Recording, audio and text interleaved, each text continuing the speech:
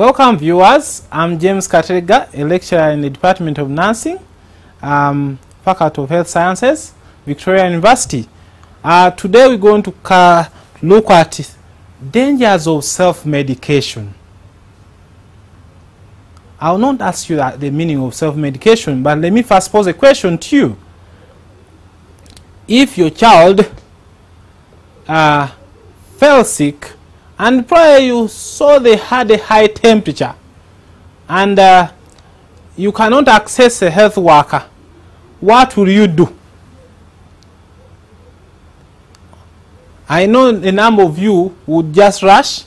Some people actually do go to the uh, drug shop, buy paracetamol to just take away the temperature, the high temperature, and then relax.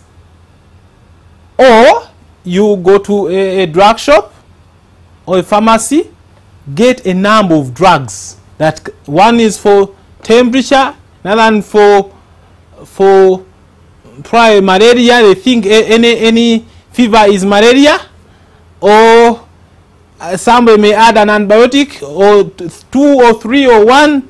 So all that is under dangers of self-medication.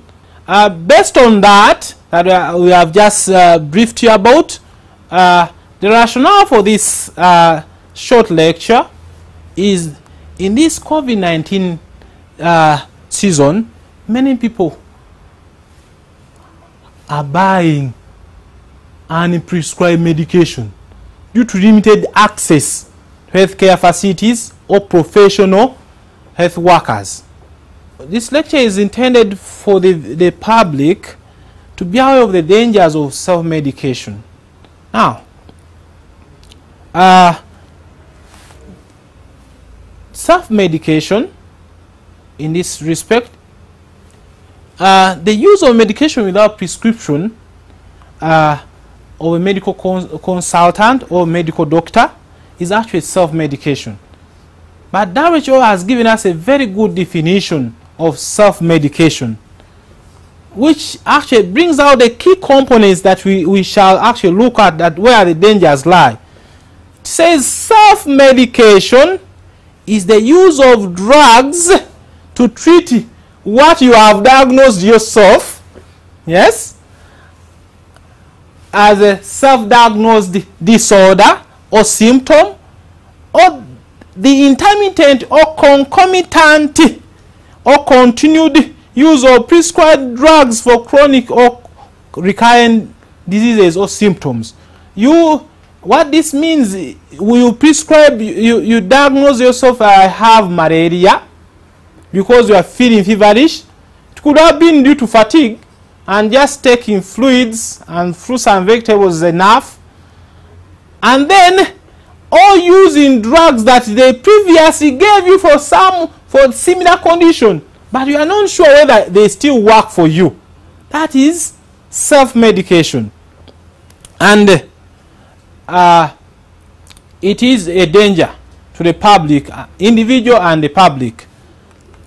So let's look at the epidemiology of self-medication.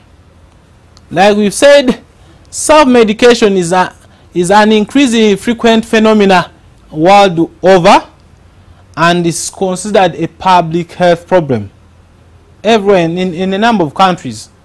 And in using non-prescription uh, drugs, patients take the responsibility. So when you take any drug that has not been prescribed, you take the responsibility of recognizing that the appropriate indication that you know what you why you are taking that drug you know the dosage yeah as if you studied it and you uh, you know the, that when you seek for medical advice when you get any adverse reaction yeah so that is part of uh, uh, self medication so it con we continue to say the indiscriminate consumption of drugs has a lot of disadvantages. When you take drugs that have not been prescribed, has a lot of disadvantages that may span from increased costs or decrease in the the, the effectiveness or, and efficacy of a drug so a drug no longer works for you because you misused it. And increased treatment duration you are supposed to have been treated for say one week because you took an underdose you now they are forced to put you in a stronger drug for a longer period of time. So all those are effects which my colleague uh, will take you through. So we now we focus on one of the key areas in self uh, dangers of self-medication uh, pointing towards antibiotics. Why antibiotics reason, uh, the reason is uh, there is a lot of resistance that may happen that such a drug may no longer work so antibiotic agents especially antibiotics are commonly used drugs for self-medication globally with over 50% of the purchased and used drugs without prescriptions. And uh, that poses a problem not only to Uganda but world over. In Uganda, a study that was done by Dr. Chan in northern Uganda and uh, many other consultants found that uh, over 76% of the drugs and, and antibiotics and microbials was self-medicated.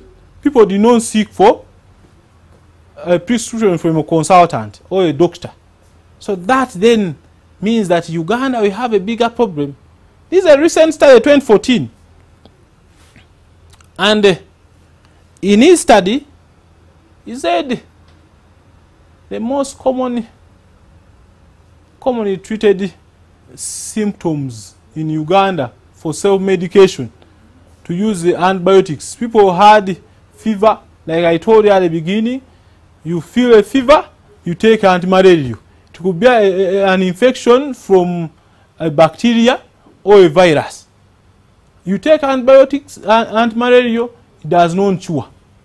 Then you say, I think the, the, the, this drug no longer works. Yet you have misdiagnosed yourself. Headache is another symptom that causes many people to seek drugs from uh, drug shops without a prescription. And loss of appetite and body weaknesses. So somebody says, I walks into a drug shop, say, I have body weakness. Then if you find one who is not uh, is not a pharmacist because pharmacists are really technical guys.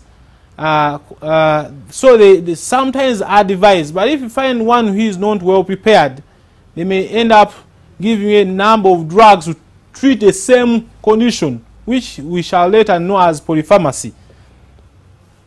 And uh, so, uh, so I could pose a question. What do you think are the commonly used drugs to, to self-medicate?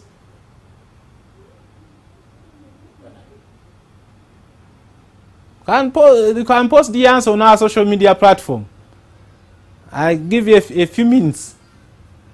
The quicker uh, those who are in the, this information age can drop their answers very fast. So, one of the the, the, the most abused drug in self-medication is Coartem, according to, Prof to Dr. Chan. And it's not, uh, uh, it's, it's, it's, not new because even the government of Uganda uh, gave authority to village health teams to distribute Coartem without uh, a clear prescription or after testing. But now there is a new recommendation. A government revised that that you first go and they do RDT, that rapid diagnostic test. If they find it positive, then you, they, you, you go to that VHT and they give you Coartem. But it was as a result of that misuse of Coartem. Previously, we had chloroquine which was abused and became resistant that could not work anymore on any ma ma uh, malaria patient. Amoxicillin is also sold in drug shops even when in NDA and does not act, allow selling of antibiotics in such drug shops. But you find they still sell and you, you viewers access those drugs from there. So the other is metronidazole, which you guys, uh, view our viewers, the public call Flagyl. Is all people go they, whenever they feel any stomach upset, say, ah, "Give me some Flagyl, two, two tablets." Is that a full dosage? Viewers. Some the other one is cotrimoxazole, which is Septrin, which is also abused. Anyone who feels a, a sore throat or a simple cough give me some five tablets. I think it will go in one or two days, not a, an adequate dose. In this COVID 19 era, this is what, what happened. When they announced on the social media that uh, chloroquine can cure COVID 19, many of you went to drug shops and pharmacies to procure to to guard yourself in case they tell you you have been exposed. And that was also accompanied with azithromycin. So that was, you didn't have a prescription from a doctor. And you never even had a disease. Do you have it? No. Otherwise, you'll be in, in, in isolation or in Mulago being treated. So, uh, the other medications that are are, are, are self-medicated that the, uh, many other people or you viewers use for self-medication are painkillers paracetamol piroxicam which is some of you give to your rats to kill rats aspirin. These drugs have lots of side effects that you don't know. You are not technical for example paracetamol can damage your liver if you take an improper dose. Aspirin can cause a lot of blood problems. Yes? In as much, that's why nowadays there is limited access to aspirin. But in the past, people used to go and ask for aspirin, aspirin, aspirin, without knowledge of how it works and its, uh, its side effects. Others are flu medicines that are self used to self medicate yourself. And then there are those a return of herbal medicines for cough. I hear this one, the other. I don't want to mention them because uh, I'm not protected enough to mention them, but they are there in the, in the drug shops. People just access them and without a prescription. Probably the NDA will help us in in uh, seeing how that can can be mitigated. Thanks very much for listening, viewers. Now let's pause a little for a break. Which, when we come back, we shall look at factors that may influence people to using drugs without a prescription or to self-medicate themselves. So in the meantime, you can post your answers to our social media platform on VU platforms. Thanks very much.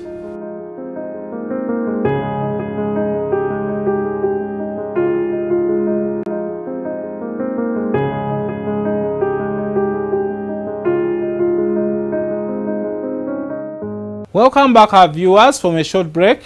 I'm still James Katerega. Now, I left a, a, a short question about the factors influencing self-medication. Um, well, we shall read your, your views later. So, uh, allow me to share with you the, some of the factors that have been found to influence self-medication. One is age. The youths, those who are under the youth category, are usually want to go, go and solve things very fast, go and get drugs from drug shops and pharmacies without a prescription. And uh, not knowing the effects of that self, uh, self-medication. The other is education level. A number of studies have shown that those who are highly educated, including us, health workers, because you studied about the drugs, so you think you're a consultant in drugs, yet they are, the pharmacists also measured in that. And they are also clinical pharmacists. They are consultant physicians who could ably explain to you what you, you don't know. Uh, because you think you know, you, you access. Some of those are these, you uh, who are working class, who can access internet. You go read up a certain drug, a tricks, this and that, say this is the best that matches my signs and symptoms. And you only read the good things.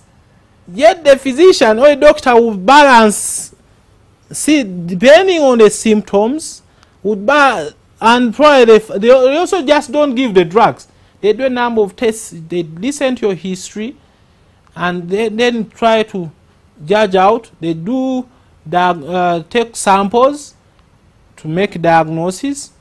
And also other pot they rule out other causes. They just don't start prescribing.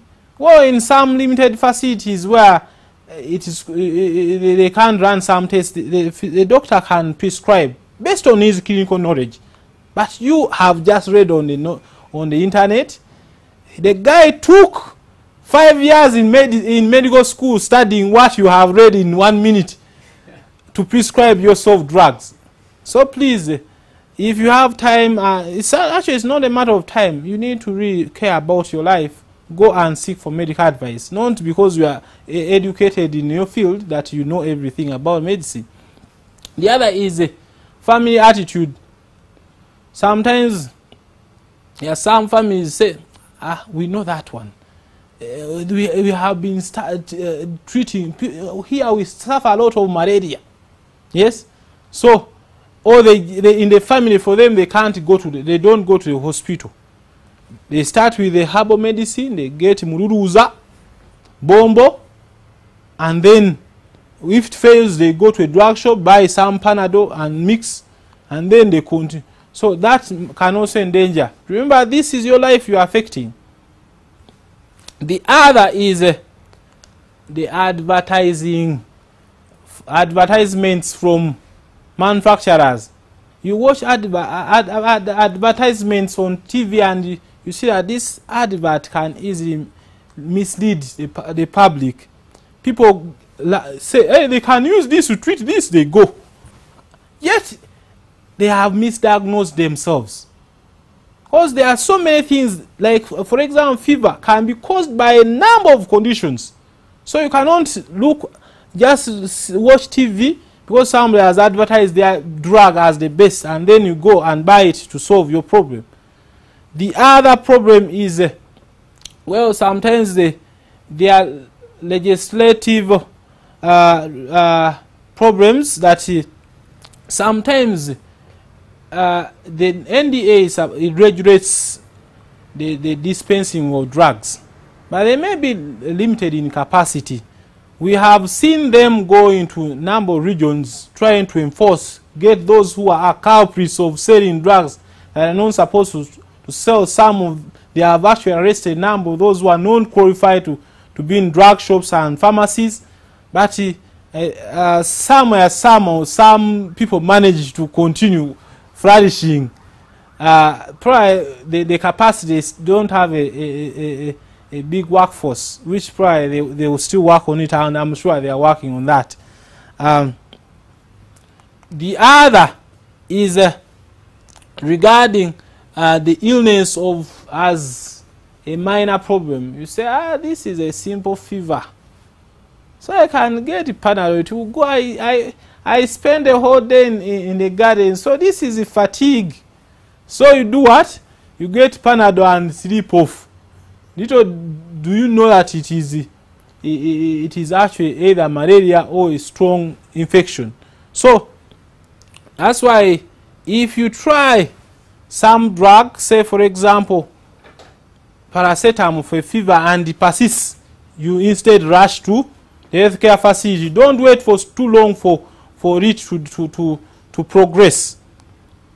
Sometimes uh, one of the other factors is the, the previous experience.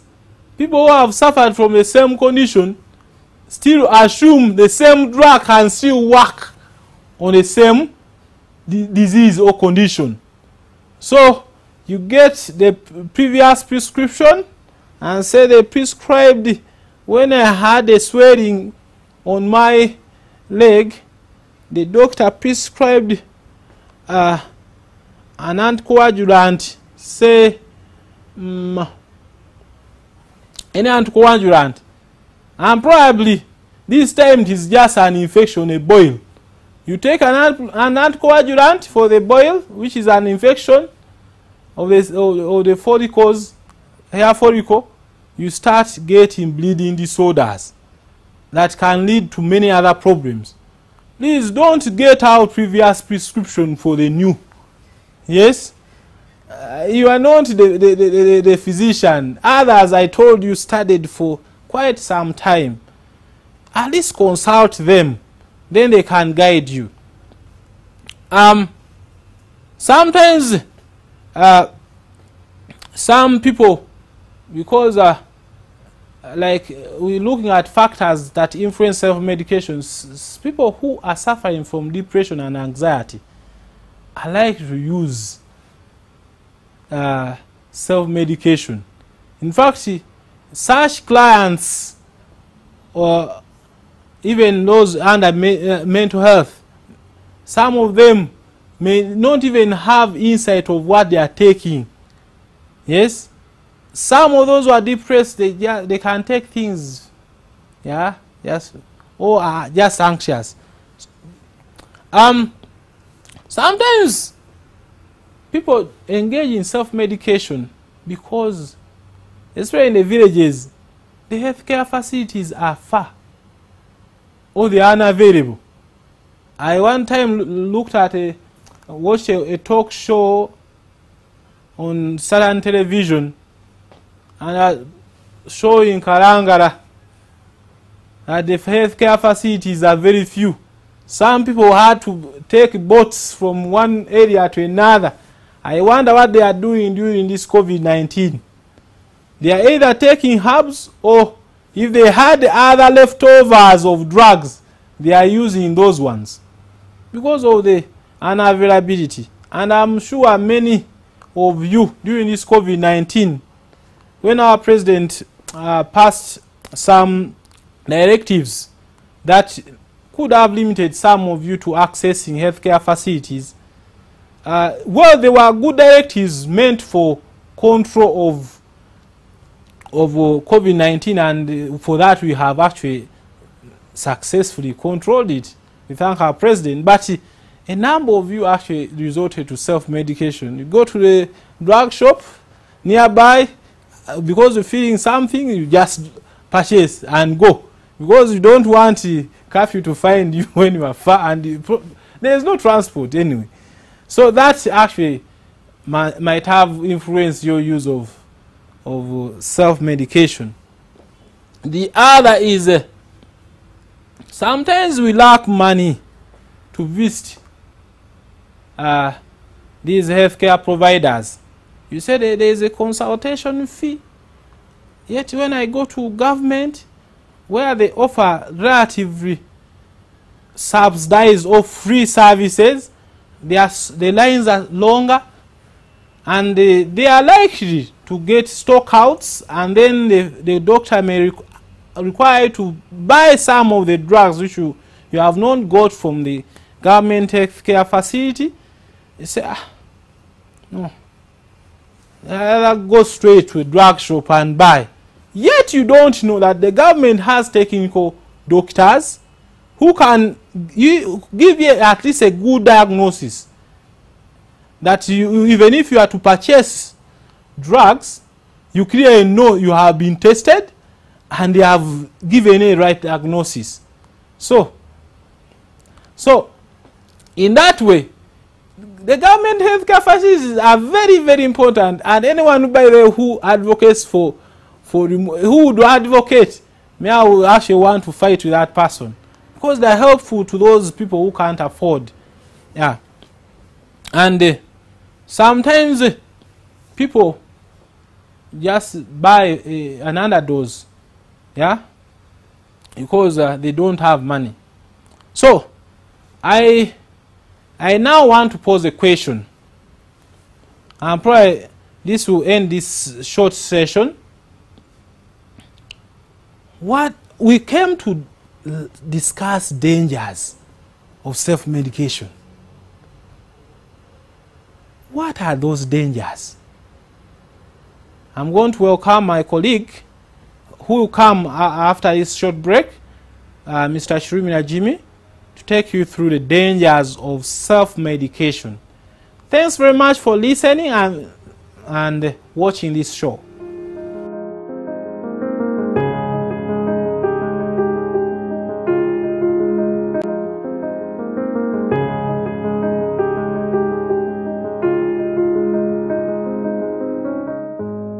Welcome, our dear viewers. Uh, we have been taking you through, my colleague has been taking you through um, self-medication and uh, he moved along the way. And with me here, I want us to go through what are the dangers or what we refer to as the potential risks to self-medication. Right? Now you could think about some of them and please post uh, your responses to our social media platforms. But uh, with us here, among others, um, our dear viewers, we have one of them is uh, what we refer to as polypharmacy. Now, with polypharmacy, you basically have um, a lot of drugs. In other words, you, you have one that takes away your pain, one that probably takes away your um, manage your hypertension, one that basically you have quite an arm of drugs. And uh, the problem that we have there is that sometimes you have drugs interacting with each other and as a result you end up um, actually um, not benefiting from some of these medications because you're self-medicating yourself. Secondly, we have the issue of misdiagnosis and actually mistreatment. Remember, actually, um, I'm reminded of this, uh, this joke that um, there was a note um, on, on, on the hospital's um, entrance at the reception that those people who misdiagnose themselves and mistreat themselves because of some reason or the other, probably as a result of internet, they will be charged an extra money. Yeah, so you shouldn't do that. We don't encourage self-medication because you end up um, you end up misdiagnosing yourself and actually you end up mistreating yourself yeah now that takes me uh, to the second point of um, delay in diagnosis remember uh, most of uh, most of our ailments or most of our diseases probably present with signs and symptoms. Probably you could have pain yeah? Or you could have uh, maybe um, uh, things like uh, a stomach ache or flu yeah? And if uh, if you buy uh, medications and uh, these medications like for example for pain you buy um, a few tablets of paracetamol or maybe diclofenac for that matter then you end, you swallow them and the pain ceases yeah now when the pain ceases it does not necessarily mean that your, your problem or your condition has actually resolved. Yeah? So that actually delays the diagnosis. Yeah? Or in other words, it delays the doctors or the physicians finding out your problem. And as a result, delay in diagnosis actually has delayed or it actually has consequences. Yeah? So we don't encourage um, the issue of self-medication. Then incorrect treatment, you could, uh, you could read some information of the internet and probably want to, to treat yourself. Actually, one of, uh, that reminds me, what one of my doctors actually says that there is no competition between the physician and the internet. Yeah? Well, however much you go and read off the internet, it doesn't make you a physician. So it is very important that you, you, you don't self-medicate or you don't um, read uh, information of the internet and then you end up buying medication for yourself yeah because that will eventually lead to what we refer to as incorrect treatment yeah? And also incorrect dosages. You don't know how much to take yeah? And how often you should take it. And what what should you follow yeah? What are the restrictions to follow as to when you are taking this particular kind of medication yeah? So those are some of the potential risks or potential dangers to self medication. But we also have others, issues that have to do with toxicity, yeah, um, toxicity and side effects of some drugs. Yeah, you might read information of the internet or maybe um, take a, a, few pics of what worked for your colleague and maybe you want to buy it for yourself, but you're unaware of the side effects. This is very, very important. Yeah, we ought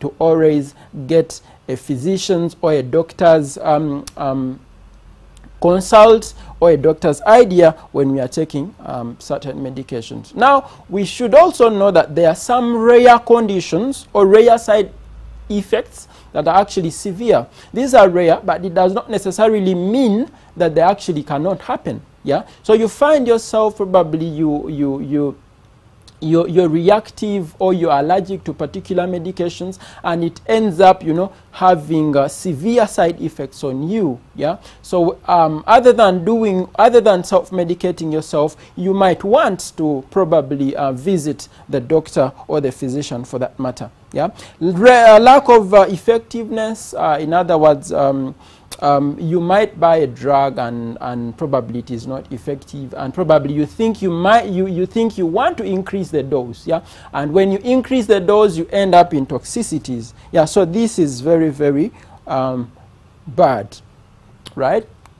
Now, um, we have others, there are medications, uh, medications abuse or dependency. Yeah, there are some people who actually buy medications from the pharmacy without a prescription, and, um, and as a result, they become dependent or they start abusing these medications, right?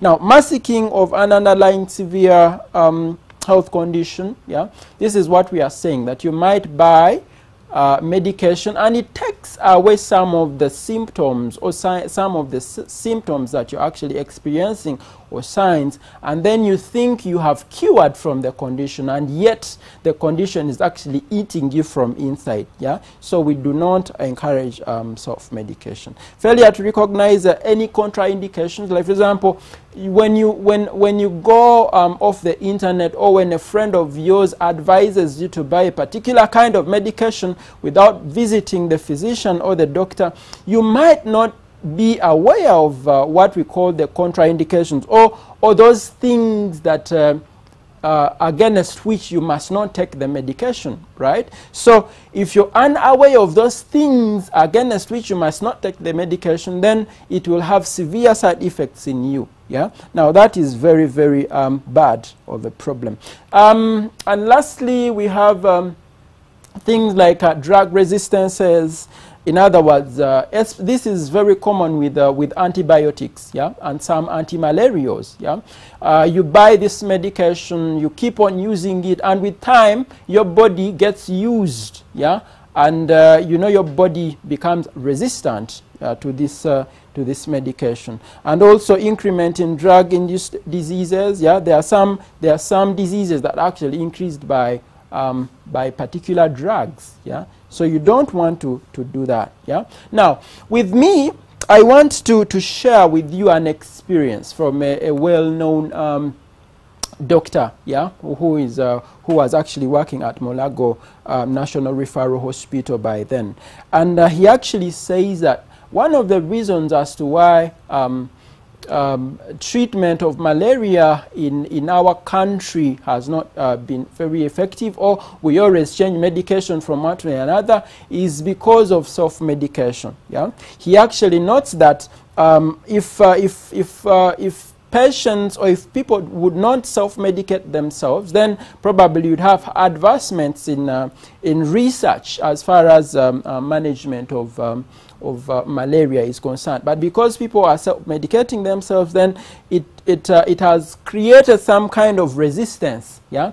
And for that matter, um, management of malaria in Uganda has actually gone through um, a, a, a, a, successive kind of like uh, a little bit of issues because of uh, the issue of uh, self-medication, which goes uh, with resistance to these um, medications, right? Now, the second thing, the, the second thing that is very important that I want us to know is um, how to avoid such, um, you know, how, how, how best can you avoid uh, uh, the issue of self-medication, right? Right. So, um, Well, there are so many um, ways how you can avoid um, um, issues that have to do with uh, self-medication, among which uh, you could uh, freely um, air out um, on our social media platforms. But uh, with us, uh, we have uh, a few, quite a few, and one of them is is one, do not take medication that has actually not not been prescribed by the doctor. Yeah? In other words, make sure that you always visit uh, your physician or your doctor in case you have uh, any issues. Then, if you cannot, then please ask um, the pharmacist or doctor's advice. Yeah? Uh, in case of medications that do not require any prescription. You know, there are some medications that might not necessarily require any prescription, like uh, what we refer to as the over-the-counter drugs. But in, in case of that, still ask for views or advice from a pharmacist, a well-trained pharmacist, or a doctor, yeah, concerning that, yeah. Then the other one, if self-medication, um, if uh, if uh, self-medication must have a reason, uh, duration, must have a reasonable duration. In other words, um, self-medic do not self-medicate forever even for uh, chronic you know chronic illnesses. No there should be a specific duration. If symptoms continue then you need to consult you know the physician or you need to visit the the nearby health facility. Then always inform um, the doctors of all the medications that uh, have been taken. In other words, um, you need to, to, to inform your doctor of, of all the medications that you're actually taking so that the doctor can well know in case of any contraindications or any interactions with other medications, then that would be um, very well um, known. Then the other one, um, for those who are able to call um, your doctors or your physicians during this COVID um, season, please do. Yeah, please do that. Uh, consult them because um, this will actually be very, very um, helpful. Read and keep the packages, um, the packages uh, leaf leaflets of all the medications that you have been given from the pharmacy or even from the hospital. And then avoid, this is very important, yeah? Just like they say um, cars and, and alcohol do not mix the same way, medication and alcohol do not, do not mix, right? So please avoid drinking alcohol um, whenever you're taking any particular kind of medication because uh, you realize um, that uh, um, alcohol actually interacts with almost 99% of the drugs that are common for our, um, for our ailments. Yeah? A point to note, um, do not swallow drugs without uh, a clear explanation of what it is treating. Yeah, most of us have this problem. They just say, do this, take, swallow this, you know, uh, maybe take this uh, two times a day, but you actually don't know what it is actually treating. So please do not go ahead.